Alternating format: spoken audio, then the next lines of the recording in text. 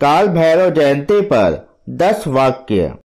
Number one काल भैरव जयंती भारत का एक मुख्य त्योहार है।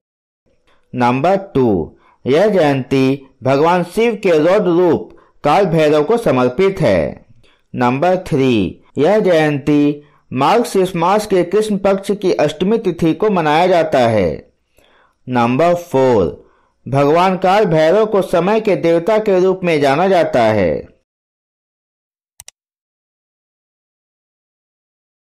नंबर फाइव माना जाता है कि वे ब्रह्मांडीय समय चक्र को नियंत्रित करते हैं। नंबर सिक्स भक्त भगवान काल भैरव का सम्मान करने के लिए उपवास रखते हैं। नंबर सेवन इस दिन श्रद्धालु काल भैरव के मंदिर में जाकर पूजा करते हैं। नंबर एट इस दिन काल भैरव की पूजा करने से उनका आशीर्वाद प्राप्त होता है।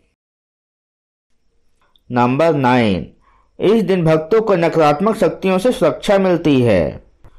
नंबर टेन काल भैरव जयंती परमात्मा से जुड़ने का एक पवित्र अवसर है। पूरा वीडियो देखने के लिए आपका धन्यवाद। Best of luck